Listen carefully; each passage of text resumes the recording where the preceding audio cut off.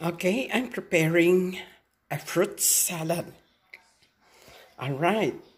We have here the plums, plums, the the violet, purple plums. See? Okay. And we have here mango, mango here, and the watermelon. And I have here a canned good uh, rambutan and a nata de coco. Okay. Nata de coco is always my favorite kasi. Kaya every time na I make some fruit salad, there's always a nata de coco.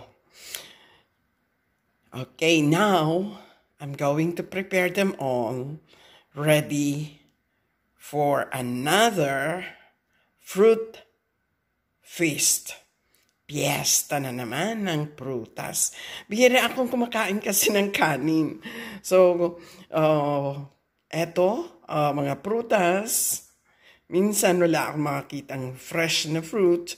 Yun, dilata na prutas na rambutan at saka yung nata de coco. You know, ang nata de coco dito ay very, ano, handy na bibili in packets.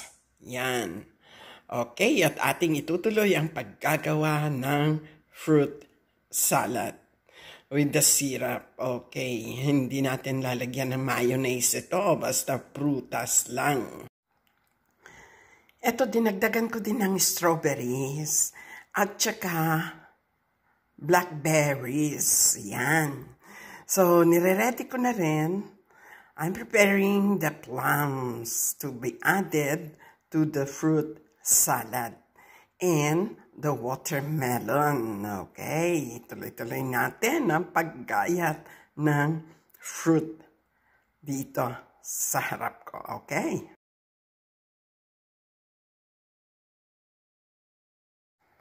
Ito, nire-ready ko na ang plums na maidagdag sa aking fruit salad dito. May strawberry, may blackberry, at ito, gagayatin ko ang plums at idadagdag sa ating fruit salad. Sa ating bowl, meron ng ano, yung mangoes, yung blackberries, strawberry, eto, ang strawberries, yan. At meron na rin nagayat, sliced plums.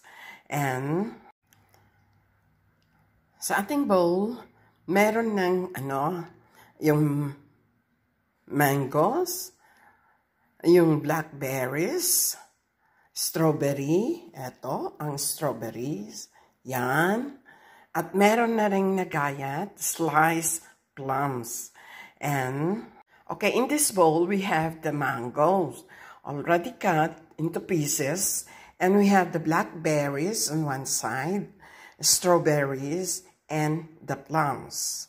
Now I am going to add the uh, watermelon. All right. Okay, you know, gawa na natin ang watermelon. Ilalagay na sa ating bowl.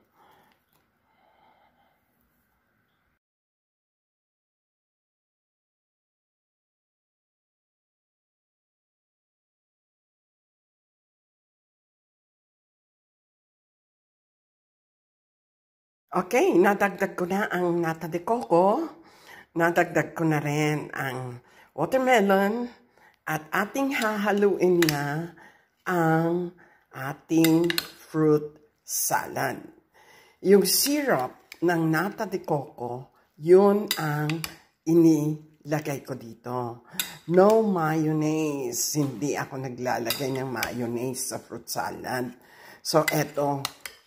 Eto na ready na. Actually, ready to eat na.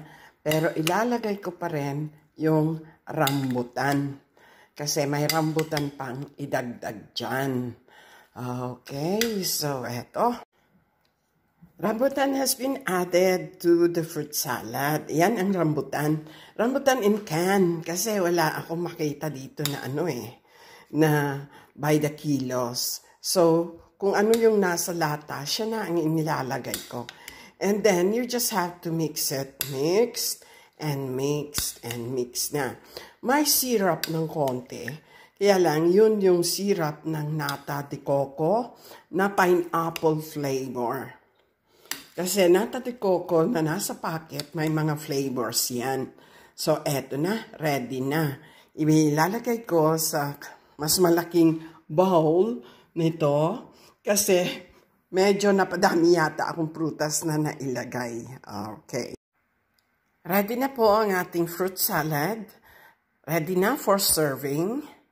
And this I prepared uh, looks like serving for six people. Oo, napakasarap. Napakasarap talaga kasi combination of uh, watermelon, mangoes, plums, the red plums, And then we have the nata de coco.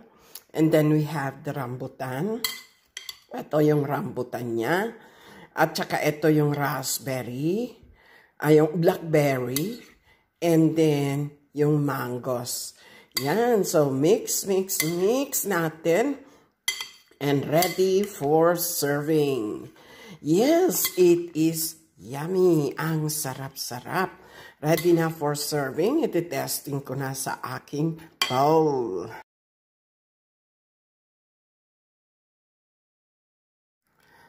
Okay, you want some? Gusto nyo tikman? Ito na ang one serving. Ito, isa-sample ko na. Talagang titikman ko na ang aking ginawa. Ganyan kabilis ang paggawa ng fruit salad dito. You don't need to ano, la, prepare at labas-labas kukuha ng mga prutas. Ready-ready na dyan sa fridge lang. Okay, so ang ating fruit salad na nasa bowl ay ilalagay ko muna yan sa fridge para malamig-lamig ng konti. Pero malamig naman kasi lahat ng prutas ay malamig. Nasa fridge na lahat yung prutas eh. Pinag-mix ko na lang. Okay, let's eat! Okay, you want some? Gusto nyo tikman?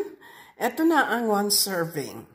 Ito, isa-sample ko na. Talagang titikman ko na ang aking ginawa. Ganyan kabilis ang paggawa ng fruit salad dito. You don't need to ano, la, prepare at labas-labas kukuha ng mga prutas. Ready-ready na dyan sa fridge lang. Okay, so ang ating fruit salad na nasa bowl, ay ilalagay ko muna yan sa fridge para malamig-lamig ng konti. Pero malamig naman kasi lahat ng prutas ay malamig. Nasa fridge na lahat yung prutas eh.